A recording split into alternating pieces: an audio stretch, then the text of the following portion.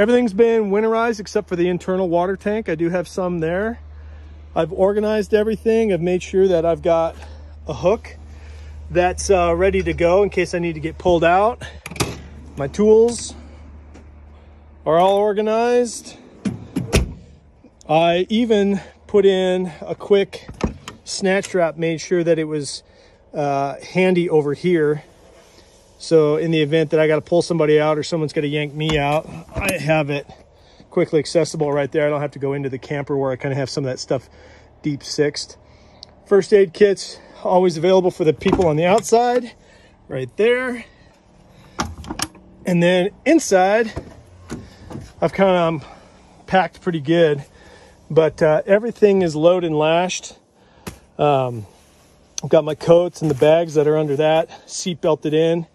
I've got some stuff I got to take back to Kurt. It's seat belted in.